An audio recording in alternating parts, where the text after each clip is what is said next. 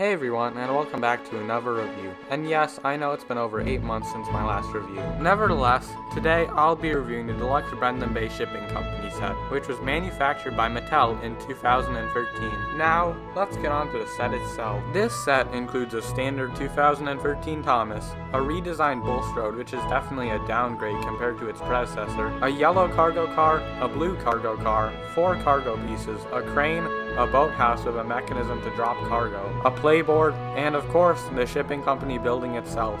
Once set up, this set is massive, and I absolutely love the attention to detail that's found in every place of this set, especially in the shipping company building's interior. Since this set is elevated, there are two plastic ascending pieces, four support pieces, and a heap of track, which mostly consist of curves. Something I would have much preferred in this set is if the stock standard Thomas was replaced by a different engine. I think Salty would have been perfect for this set, as he is shown on the box twice after all.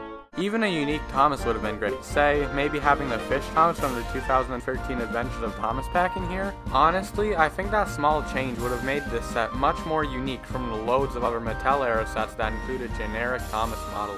But besides that, the main highlight of this set being the shipping company building is presented wonderfully. From the stunning attention to detail as said earlier, to the actually well implemented cargo loading ramps on each side. Unlike the racing down the rails set that I reviewed last year, this set offers a ton of playability. First of all, Thomas can stop by the gantry crane or stop on one side of the shipping company building to load up the cargo car, and from there, the cargo piece can be dropped down into Bulstrode's hull. Something I really enjoy about this set in particular is that it looks amazing in any place you view it from. All in all, I really do like this set, and while a few aspects are definitely underwhelming, I think that this is one of, if not the best Mattel era set, because of the sheer amount of features, items, and all-around craftsmanship included. If you don't have this set in your collection yet, I highly recommend it. Anyway, I thank you for watching, and this is King Thomas Fan 121, signing out.